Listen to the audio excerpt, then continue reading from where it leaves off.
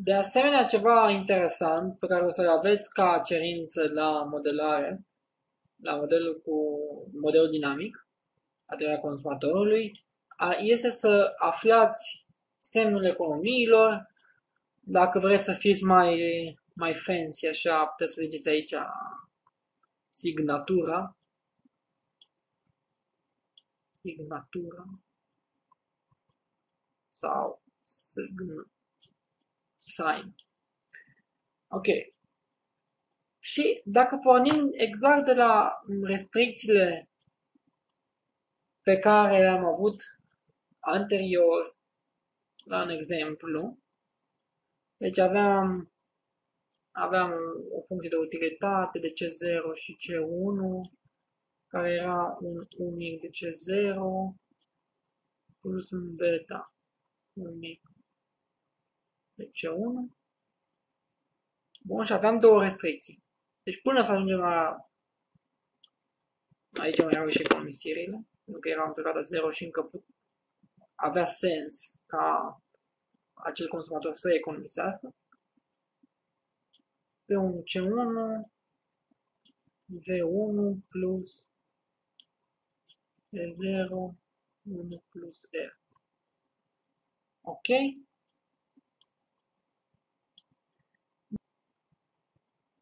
Și acum, dacă am notat, dacă am scoate E0 ăsta pe lângă 1 plus R, ar fi ceva de genul V1C1 minus un V1.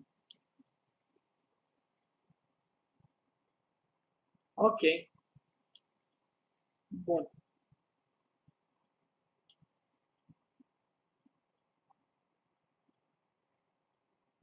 Iar acum, ideea este să scriem variabilele astea care sunt la perioada 1 în funcție de niște de variabile de corespondente lor la de la perioada 0. Facem, facem niște artificii.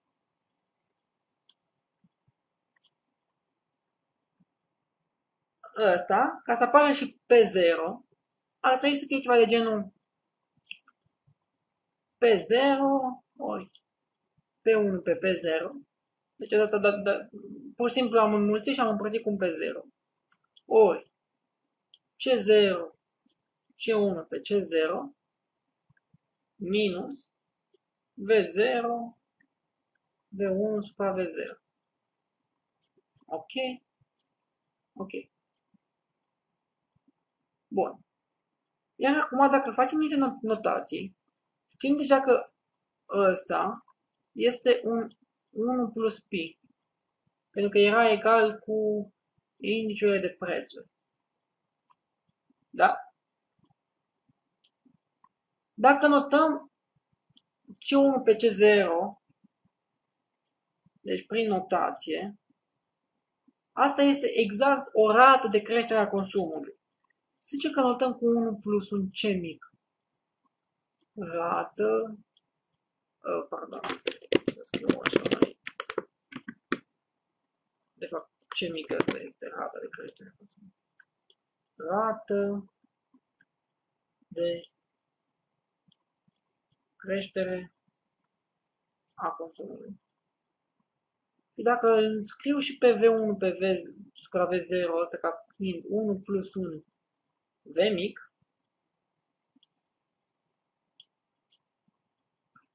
unde V ar, ar fi tot așa o rată de creștere a veniturilor de data asta.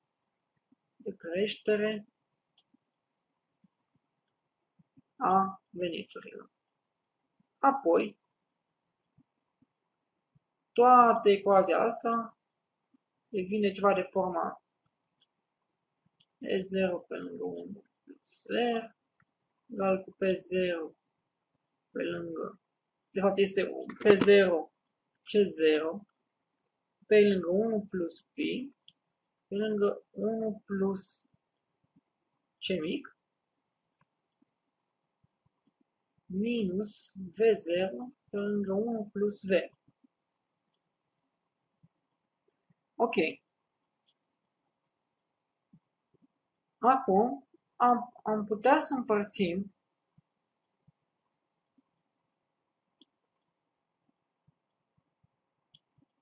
această ecuație prin 1 plus pi. Și dacă împărțim prin 1, 1 plus pi, avem, avem ceva de genul ăsta. 1 plus 0 supra 1 plus pi. Aici 1 plus pi se reduce și ar veni pe 0 C0 1 plus C. Aici ar veni minus un V0. V0 ca 1 plus V ca 1 plus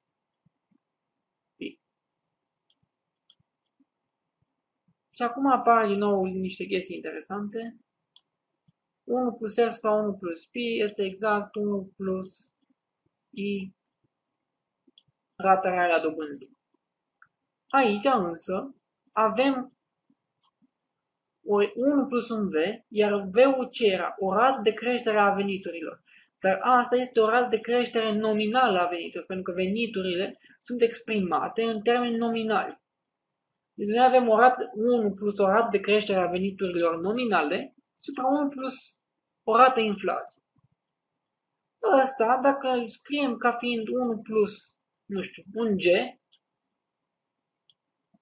ăsta, G-ul ăsta ar fi, de fapt, rata de creștere a veniturilor reale. Deci este exact ca relația lui Fisher. Avem aici un Y cu I-ul ăsta care era rată, rată reală. Acum avem G-ul ăsta care sunt, este rata de creștere a veniturilor reale. Și dacă am făcut notațiile astea, atunci o să rezulte că E0 pe lângă 1 plus I, opa, Ăsta o să fie egal cu un P0 C0 pe lângă 1 8 1 plus C minus V0 pe lângă 1 plus G. Ok. Bun.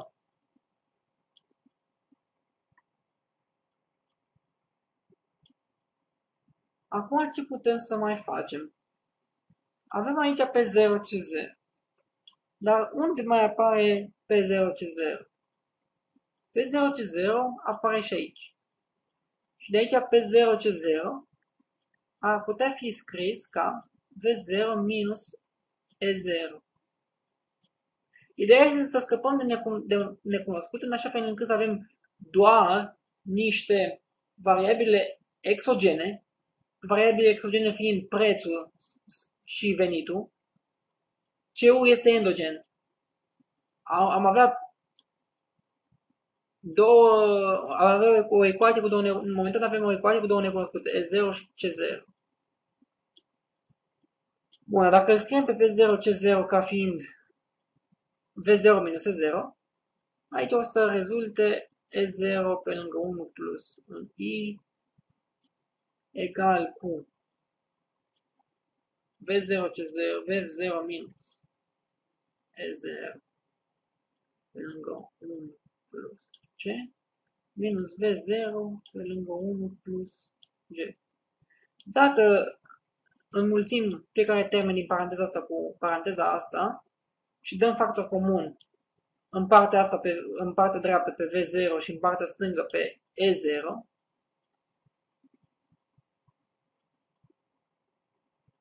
am, am avea la un, până la urmă ceva de genul ăsta.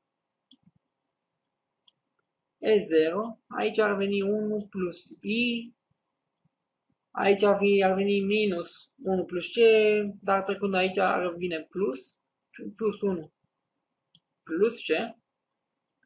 Și aici dăm patru pe V0, V0, 1 plus C, minus 1, minus G. Un conul se reduce. Aici vine E0 pe lângă 2 plus I plus C. E V0 lângă C minus G. Iar de aici rezultă E0 ca fiind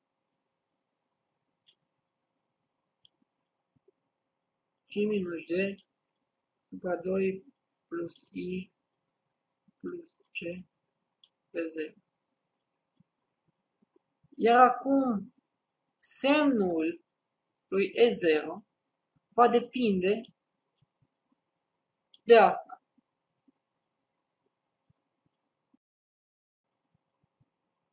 Ok, dacă presupunem că, deci presupunem că I plus C ăsta, deci partea asta, este mai mare decât minus 2, mai mare strict decât minus 2. Ceea ce este o presupunere mm, din punct de vedere economic care stă în picioare, că are sens. Ok. Atunci înseamnă că ăsta ar fi pozitiv. Pentru că 2 plus i plus c va fi tot timpul mai mare decât 0. Cum venitul nu e negativ, deci venitul e pozitiv, ăsta e pozitiv, înseamnă că semnul depinde doar de C minus G. Ok?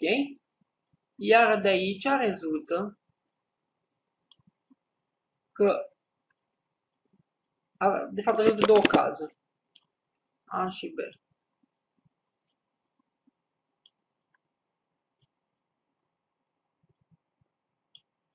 Dacă C este mai mare decât G, atunci E0 e pozitiv. Dacă C este mai mic decât G, înseamnă că economiile sunt negative. Ce înseamnă economii negative? Aici, de fapt, să o pe rând. Economii pozitive înseamnă că consumatorul economisește. Economisește. Iar economii negative, ce ar putea să însemne economii negative? Împrumuturi. Împrumuturi. Deci, practic are niște datorii. Are niște economii negative, are niște datorii. Ok, dar e interesant să ne uităm puțin la relația asta. Dacă C este mai mare ca G, dacă rata de creștere a consumului este mai mare decât rata de creștere a veniturilor reale, economiile sunt pozitive. Adică ce înseamnă chestia asta? E, înseamnă că se,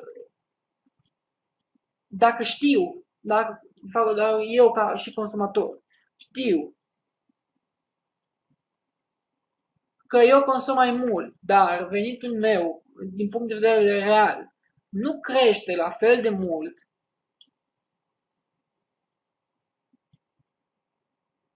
înseamnă că Bun. Dar asta ce înseamnă? Înseamnă că dacă eu știu că în viitor o să consum mai mult, pentru că C1 mic este C1 pe C0. Dacă C1 este mai mare decât C0, iar această rată de creștere a consumului viitor față de consumul prezent este mai mare decât rata de creștere a veniturilor reale, deci dacă C este mai mare decât G, înseamnă că eu știu că o să consum în viitor mai mult. Da? Dar această rată de creștere a consumului meu va depăși rata de creștere a venitului meu real. Înseamnă că eu nu o să pot să-mi susțin consumul doar din venitul meu real pe care l-aș obține. De aceea, trebuie să economisesc ca să pot să consum mai mult în viitor. De asta E0 ăsta este pozitiv, de asta consumatorul economisește, iar asta este interpretarea economică.